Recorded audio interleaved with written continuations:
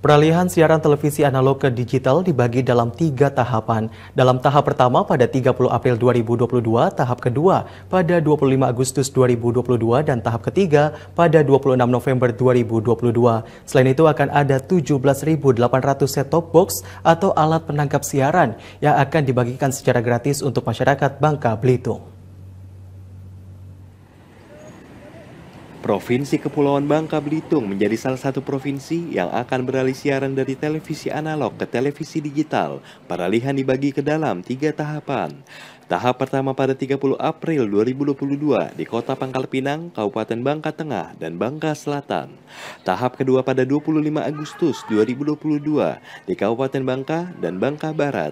Tahap terakhir tanggal 2 November 2022 untuk Kabupaten Belitung dan Belitung Timur.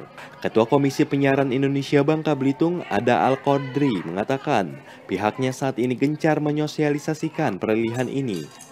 Menurut Ada Al-Qadri, ada sekitar 17.800 set-top box atau alat bantu tangkap siaran digital yang dibagikan langsung oleh Kementerian Komunikasi dan Informatika kepada warga penerima manfaat. Selain itu, masyarakat juga sudah bisa membeli set-top box di toko-toko elektronik di Pangkal Pinang dan sekitarnya. 17.800 sekian set-top box yang akan dibagikan.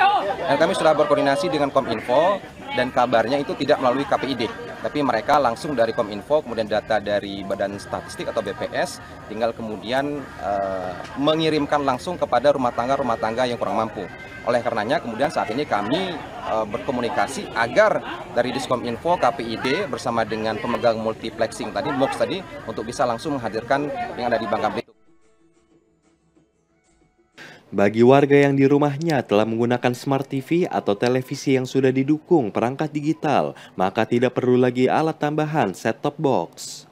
Namun diingatkan, televisi digital tetap menggunakan antena UFH untuk menangkap sinyal siaran tentunya gratis tidak berbayar.